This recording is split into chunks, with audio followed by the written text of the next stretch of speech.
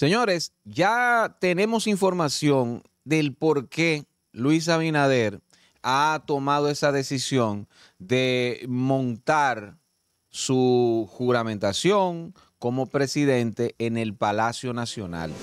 Y uno se lo preguntaba desde hace un par de días cuando empezó a, circular, a circular esta información, ¿no? ¿Por qué el presidente Luis Abinader tomó esta decisión? Parece algo maniqueo, parece algo propio de, del, eh, qué sé yo, de, una... De, un, de un afán de lucimiento, de querer ser diferente, de torcer la historia. ¿Por qué esta falta de solemnidad? Eh, de llevar esta vaina al, Teatro Nacional. Está bien que hay un precedente de que el profesor Juan Bosch, cuando fue presidente, lo hizo, pero ¿dónde él montó eso? En el Palacio Nacional.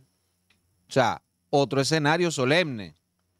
Y las eh, y, tú ves a los eh, juristas de, que están muy adscritos al gobierno, que se han beneficiado de una u otra forma con alguna que otra consultoría, eh, con algún otro, que otro trabajo, pues lo defienden a rajatabla. Pero definitivamente hay una falta de solemnidad en este caso, ¿no? Con el presidente. Pero ya tenemos información. Eh, el presidente no lo hizo de gratis. La excusa esta de que es que vienen muchos más mandatarios, vienen otras figuras y sus delegaciones son muy amplias y no van a tener espacio eh, en el Congreso, donde se va a constituir ahí esa Asamblea Nacional. No, no, eh, no es eso. Definitivamente no es eso.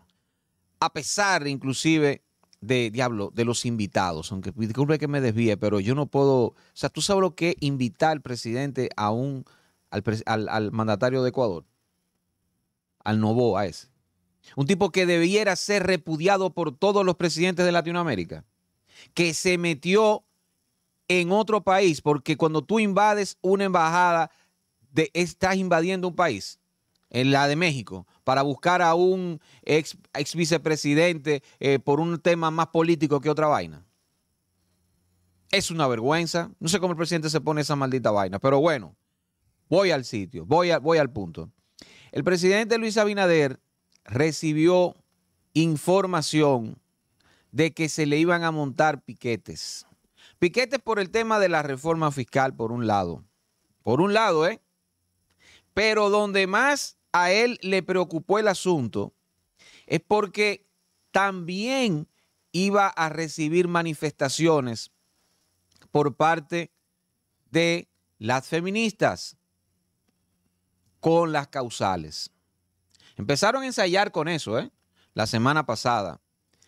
Y le iban a montar otra cosa más. Y por eso Luis Abinader hizo dos operaciones, raudo y veloz. Lo del Teatro Nacional y miren cómo en LA Semanal el presidente de una vez desactivó el tema del Código Penal.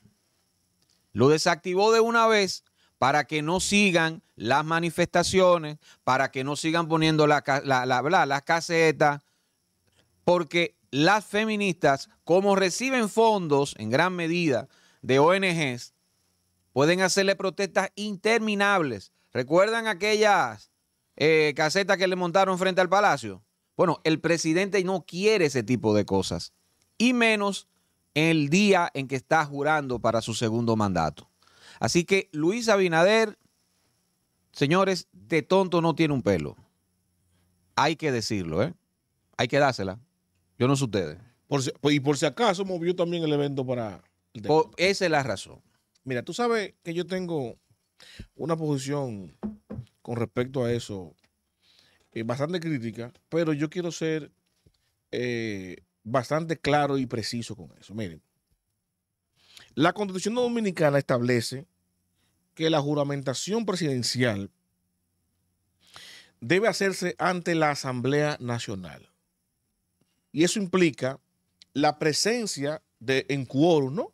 De los legisladores. Eso no te habla de un espacio físico, sino de un grupo, del, del componente de personas o de legisladores, valga la redundancia, que conforman lo que es la Asamblea Nacional. Son 210 legisladores, el quórum. Ahora bien, por tradición, democrática, evidentemente, siempre se ha hecho en el edificio del Congreso Nacional, porque es el salón de la reunión ordinaria de la Asamblea. Y aparte de eso, simbólicamente hablando, se debe tener en cuenta que el Congreso Nacional, el poder legislativo, es el primer poder del Estado, distinto a lo que pudiera pensar cualquiera, que es el Ejecutivo. No, el primer poder del Estado es el poder legislativo. Y la juramentación presidencial hecha ante la Asamblea Nacional es cuando el legislativo empodera, le, otorga el poder al presidente constitucional electo. Dicho esto, por el tema, repito, de simbología y de tradición, el reglamento interno del Congreso, del Congreso de la, la Asamblea Nacional establece que precisamente ahí en el salón del Congreso es que se hace la, toma, la, juramentación al presidente. Inclusive, quien dirige y coordina todo el protocolo de ese día por parte de esa Asamblea Nacional es el Senado de la República. Eso lo establece el reglamento. Ahora, ¿qué pasa? Cuando se habla de cambiar el escenario, más que una simple representación técnica, o sea, una, interpretación técnica o literal de lo que establece la Constitución. Bueno, la Asamblea son los legisladores y se juntan en una calle están los, los, los asambleístas. ¿Por qué? Porque un diputado no solamente es diputado cuando está en el Congreso, sino en cualquier lugar del país o del mundo, y es cierto. Ahora bien, ¿por qué eso atenta en contra de la democracia? Y es penoso, y es problemático, y representa eh, un peligro importante que la gente quizá no se ha detenido a analizar. Y es precisamente por la simbología. Porque en un país como este, donde se ha cuestionado la división de poder, donde el presidente de la República tiene tanto poder, donde oficiosamente, oficiosamente, el Congreso, si, mayoritariamente está dominado por el partido del, de gobierno de donde el presidente es electo, entonces se habla de que siendo un poder independiente, una, y siendo el principal o el primer poder del Estado, es genuflexo ante el presidente de la República. Una cosa es que sea así en la práctica, estratégicamente, porque no por el presidente, sino por el partido. Eso es una cosa. Ahora, que se oficialice entregándole también el mando, el control y el poder de que el presidente decida dónde se le va a entregar la presidencia, ya lo estamos cambiando, parece, de una democracia a una monarquía, donde el rey elige dónde va a ser su coronación. Y yo digo esto así enfáticamente, Maracayo y Edwin, porque yo recuerdo por allá por 2003, cuando en una situación, salvando las, distancias, el presidente de entonces, Hipólito Mejía, quiso imponer un capricho ante el Congreso Nacional. Y el capricho que él quería poner era señalar con un dedo, como lo hacen ahora, pero lo hacen, fíjate cómo el PRM eligió eh, eh, el, gabinete directivo de cada Cámara en el partido. ¿Verdad? En un consenso se eligió, democráticamente se debatió, ah, va a ser fulano y mengano, es una cosa. Y otra cosa que el presidente de la República de de paso diga, mira, va a ser fulano el presidente de, la Cámara de Diputados. Y yo recuerdo en el 2003, cuando ese capricho del presidente entonces, Hipólito Mejía, de entregarle la Cámara de Diputados, por ejemplo, a Ito en ese entonces, que no era del PRD, por encima de lo que querían los PRDistas, de lo que quería eh, que todos apuntaban a Pacheco, se armó una trifulca ahí en la Cámara de Diputados y un tiroteo inclusive, donde Alfredo Pacheco protagonizó, evidentemente por intereses particulares, pero una defensa en lo pragmático, ¿no? De la independencia del poder legislativo, por encima de la decisión presidencial. Él fue protagonista de eso. Yo, bueno, si se me pega un tiro, recuerdo yo que lo digo, lo voy a citar aquí. Si se me pega un tiro, se me tiró, se me pegó. Pues el Congreso aquí deciden los diputados. Y Pacheco batalló por eso e impuso, impuso la decisión y la soberanía del Congreso, del Poder Legislativo. Y es penoso hoy, y por eso traigo a colación esa anécdota, que sea el propio Alfredo Pacheco el que está protagonizando la otra cera hoy, 20 años después es Pacheco el que está llevando la comunicación, es Pacheco el que está llevando la voz cantante y cabildeando con su liderazgo entre los diputados que se apruebe eso. ¿verdad? Eso que va en detrimento de lo que representa el poder legislativo o de lo que debería representar. Y yo, oriundo de Cristo Rey, al igual que Pacheco, siento una especial vergüenza por eso. Y tengo que decirlo aquí. Pacheco, que viene de una clase humilde, que viene de un barrio como Cristo Rey, que es el diputado de Cristo Rey, que siempre lo ha apoyado y lo mantiene ahí, ¿verdad? Porque Pacheco representa eh, una instrucción al poder fáctico. Pacheco es disruptivo, no tiene abolengo, no es de familia, no es de apellido, no es blanco, rubio, o azules, y el tipo está ahí, es un líder congresual. Ese, e, él es el congresista de Cristo Rey. Y yo, hoy, lo que digo, bueno, hoy yo siento vergüenza. En ese momento que me sentía Pacheco, un hombre valiente, Pacheco defendió su posición por temas políticos, pero defendió el hecho de la independencia del Congreso. Y hoy está cabildeando haciendo lo contrario, presentándose genuflexamente ante eh, eh, a lo que es la Asamblea Nacional ante otro capricho presidencial. En este caso de cambiar la sede, que manda un mensaje funesto y peligroso. Con esto cierro. ¿Por qué es peligroso el mensaje?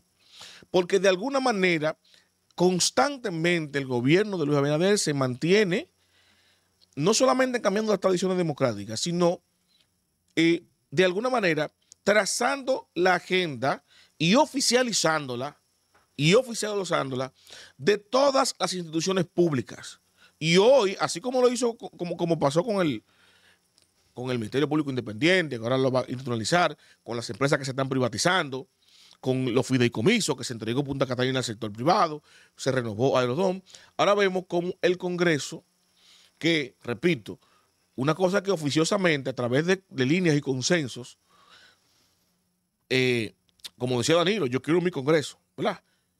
Trabaje para su partido de gobierno, pero que su ala, su batería de legisladores, y otra cosa es que institucionalice e instrumentalice, ¿verdad? Al poder legislativo como un espacio más, como un, como un departamento más del poder ejecutivo.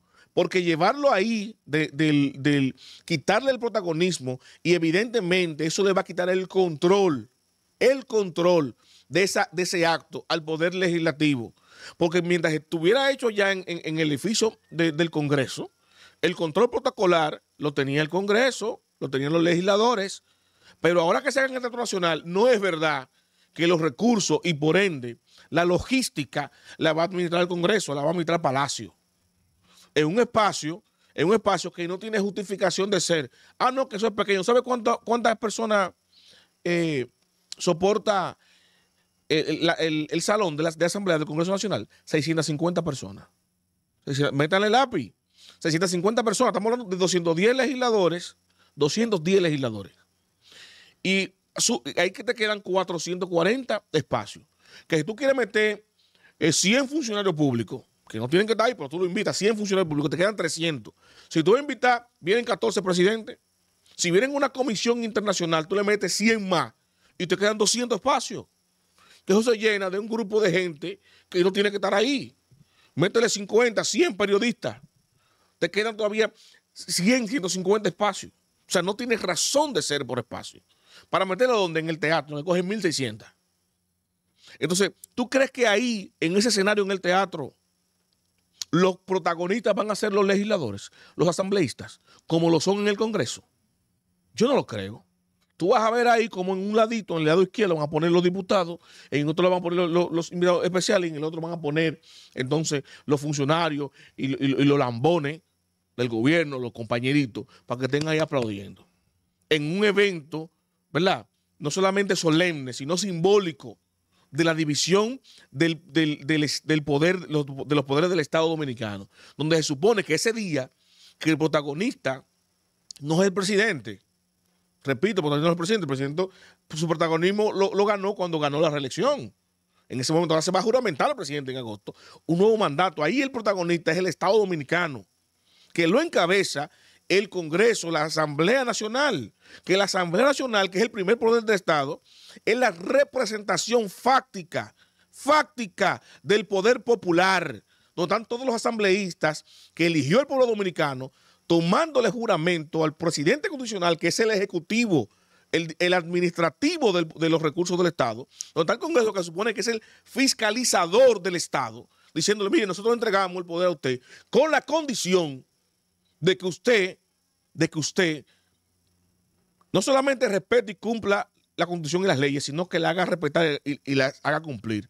Y hoy el primer acto de la toma de juramentación, doblegar genuflexamente eh, al Congreso Nacional. Ese es el primer acto de la toma de posición del gobierno del presidente de la República. Simbólicamente yo lo veo muy bien porque lo va a hacer en el Teatro Nacional. Así empieza estos cuatro años. un show. Un show, un teatro, todo es un teatro. Lo cierto es que el presidente, la verdad, que le tiene una fobia a las protestas increíbles. Recuerden ustedes cuando apresaron al doctor en Jarabacoa, que estaba protestando y solo, con una, una pancarta. Y la forma en que, atropellada, en que lo, detuvieron, eso demuestra una, repito, una fobia al, a la protesta que tiene el presidente Luis Abinader que se atreve a hacer esto. Como ya bien explica Mario, a violar esa, esa solemnidad de lo que significa el Congreso Nacional. Y lo hace precisamente en el, en el Teatro Nacional, aparte de que simbólicamente le cae muy bien, como dije, por un, por un asunto de, de, seguridad, ¿no? Porque recuerden que el Teatro Nacional está dentro de la Plaza de la Cultura, que es un área que está cercada. No hay que cercarla, ya está cercada. ¿Y qué queda alrededor? La Máximo Gómez, donde no hay espacio para, ¿verdad?, aglutinarse, para protestar. No hay espacio, aparte de que también la Máximo Gómez, ese tramo, lo van a acercar por un asunto de seguridad. Ya han dicho que vienen muchísimos mandatarios de otros países y van a hacer un operativo a militarizar, a militarizar esa área con la excusa de la seguridad, la seguridad. Pero es para impedir estos movimientos que ya estaban activos y que eh, la inteligencia del, presidente de la República le sopló, ¿no? Entonces, eh, tienen un problema que ya lo han estado solucionando. La capacidad es enorme del, Teatro Nacional, ¿no? Para este acto. 1.600 personas. Es enorme. Pero ya Pacheco, creo que fue Pacheco que dijo, eh, los legisladores pueden ahora llevar a un acompañante. Tienen que rellenar eso. Para, ¿ah? justificar. Tienen que rellenar eso, tiene que estar repleto. ¿No? Sí, Un acompañante para que, miren, yo, eh, la excusa era la excusa válida, es que no iban a caber. Pero pueden llevar un acompañante. Pero vamos a ver, si el presidente de la República dice, eh, tenemos que trasladar esto a, otro sitio porque viene demasiada gente, pero entonces Pacheco dice, pueden llevar un acompañante, pero quiten el acompañante y lo hubiesen dejado en el Congreso Nacional y se, evitan este problema. Es que, Maracayo, es la información que nosotros recibimos. Es que no se trata de cuestión de espacio ni nada de esa vaina. Eso, ahí, es que se engaña, es que, diablo, es que tienen que ser, con todo el respeto, con las loas que, se le, que le diste a Pacheco, que en gran medida las merece, pero en, por otra parte, coño, son, no guardan las formas. ¿Por qué tú dices ese tipo de vaina? ¿O es que la mentira es tan obvia? Pareciera que sí. Oh, miren, lleven su acompañante. O sea, que porque no lo vamos a llenar, porque la razón, la razón de que, de que mucha gente no es esa. Es que, es que está muy claro. Señores, la información que nosotros nos dan, ¿ustedes saben qué? Es del entorno oficialista, es de ustedes mismos que, que nos salen esa vaina. Tú, sabes que la estrategia, mira, eh, tiene, tiene sentido en el tema mediático comunicacional, que es lo que le perjudica siempre al presidente y la prensa. Tú sabes que van a venir 14 mandatarios, ¿verdad? Presidentes de, de, de otras partes del mundo y evidentemente viene la prensa internacional. ¿Cómo quedaría la toma de posesión de la reelección del presidente Abinader si esa prensa internacional se topa con una manifestación en la entrada. y el presidente más popular de la región. Exactamente. Entonces, una, una, un evento controlado con una distancia X desde la entrada hasta la entrada oficial, donde los presidentes van a llegar hasta allá y no van a ver un solo, un solo, un solo movimiento de nada, de caos. y mientras el, el acto está corriendo, él va a tener 5 kilómetros a la redonda de espacio eh, despejado, ¿no? Militarizado, porque usted, ¿qué usted va a hacer? Protesta, usted no puede entrar, porque usted no está invitado. Usted no puede entrar para el evento de toma de posición con una protesta. Hágalo afuera. ¿Y dónde es afuera? Como tú bien dices, en La Gómez. En La Gómez, a un kilómetro de distancia de la entrada principal. Muy distinto en el Congreso, donde usualmente se hace, que la protesta pudiera haber llegado hasta la bolita del mundo ahí, frente a frente al Congreso, porque estaban afuera. Claro. Y ahí sí es verdad que no se le escapa a la prensa internacional. O sea, este espacio controlado, imagínate que esta mesa es para hacerlo ahí en el centro y que la prensa quede por fuera y poder burlar a la prensa internacional con respecto a eso. Hay que ver, hay que ver si esas manifestantes van a tener la sagacidad, ¿no? De grabarse y cabildear con relaciones públicas la colocación de esa protesta durante durante eh, la toma de posición y mandarlo fuera. Porque otra cosa es seguro, Maracayo Edwin. Así como no hemos visto que los medios de comunicación cubren esa protesta que se hacen todos los días frente a Palacio. Yo paso por ahí todos los días y la veo ahí. Y yo no lo veo en los medios que se habla de eso. ¿Tú crees que lo van a, lo, lo van a pasar durante la toma de posición del presidente? Yo no lo creo. No lo están pasando ahora. Y están matando el que hay entre la funda. Ahora no lo van a pasar durante la toma de posición. No se van a atrever eso, estos medios tradicionales que están de alguna de alguna manera atados al, al- presupuesto nacional. Y para colmo, para colmo, el Congreso, que usualmente cuida la forma, no, dice, bueno, pues no. eh, El presidente que se arriesgó a mandar un comunicado que se ha hecho público, eso es porque no le van a dar para atrás. Yo no veo a Pacheco respondiendo al presidente, no, nosotros vamos a hacerlo aquí. Yo no veo a Pacheco haciendo eso. Más fácil puede recolar, Luis. Decir, no, está bien, vamos a hacerlo. Una decisión ejecutiva del presidente, no, lo vamos a aquí en el Congreso, está bien. Para evitar situaciones. Pero yo no veo el Congreso negándose. Fíjate cómo la iniciativa se pone donde. Ujú. En la Cámara de Diputados se le mandó a Pacheco. ¿Por qué? Porque el Senado de ellos. Pues el Senado totalmente PRMista. Ahí hay como tres de la oposición solamente, de la Fuerza del Pueblo. Y de, y, y de 32 tiene 28 el, el- el gobierno. ¿Me entiendes? Hay que ver, Mario, si esto realmente es, eh, ah, es- va en contra de la Constitución, porque la Asamblea Nacional, eh, tú dices que no tiene, que la Asamblea eh, Nacional es la reunión de los legisladores, no importa el, el lugar físico. Sí, no, sí, es que la constitución no habla de- de- del lugar fí- físico. La, la- la constitución habla de que el juramento lo toma la Asamblea Nacional en quórum. Y la Asamblea Nacional está compuesta por los asambleístas, que es, que es eh, eh, la combinación de todos los legisladores sí, de, sí, las- de ambas cámaras. no dice que No, tiene que ser en, el- en No, la, en la constitución- sede, la- en el la Congreso. constitución no. Ahora, el reglamento sí, yo lo cité. Ah, bueno, pero como quiera está violando la ley entonces. Sí, el reglamento, yo lo dije. Ah, pero... No está viendo la constitución, pero está viendo un reglamento interno de- de- de- del, del Congreso. ¿Qué dice el reglamento? Yo lo dije.